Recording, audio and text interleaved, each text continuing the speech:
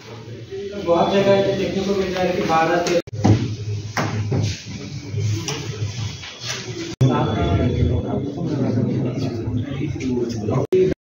जो भी पंडाल लगा रहे हैं, आपके क्षेत्र में जो विसर्जन है, वो पंद्रह से सोलह मैक्सिमम सिक्सटीन तक विसर्जन जो है वो हो जाना चाहिए।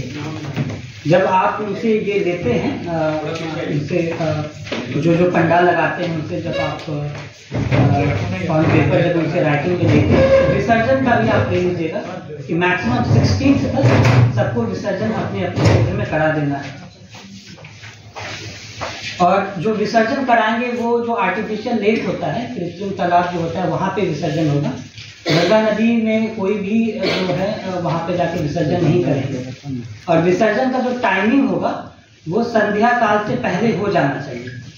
कहीं भी ऐसा नहीं आना चाहिए कि रात्रि के समय में कहीं पे विसर्जन किया जा रहा है। और ध्यान ये भी देना है कि जब विसर्जन करते समय तो काफ़ी फोर्स रहता है। विसर्जन करके जब वो लोग निकलते हैं तो बहुत जगह देखा जाता है कि वहाँ पे फोर्सेस नहीं रहते हैं। इसके वजह से क्या होता है कि जब वो वापस आ रहे होते हैं, क्योंकि भीड़ तो रहती है, साथ में रहते हैं तो उस समय कुछ जो है अप्रिय घटना कर होने का जो है संभावना रहता है, या किसी दुकान में जाके कुछ कर लिए, या आसपास कुछ हंगामा कर दिए तो विसर्जित विसर्जित होने के बाद जो है, उसका भी आप लोग ध्यान रखिएगा, और साथ में कुछ फोर्स वहाँ पे होना चाहिए, और मजिस्ट्रेट होना चाहिए कि वो देखे कि विसर्जन होने के बाद भी वो अच्छे से, वो जो क्राउड है, वो डिस्पर्स हो जाए।